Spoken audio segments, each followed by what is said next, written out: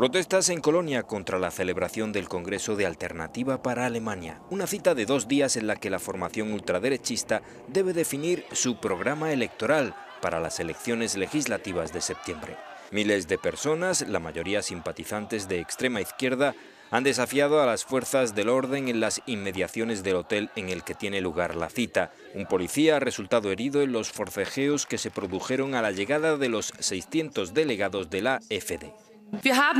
Aunque todavía no tenemos mayoría en las urnas, decía la copresidenta del partido, Frauke Petri, que el pasado miércoles renunció a presentarse como cabeza de lista, hemos transmitido a millones de votantes alemanes la esperanza de que hay un cambio democrático y especialmente espiritual en nuestro país. Y tenemos una responsabilidad sustancial al respecto.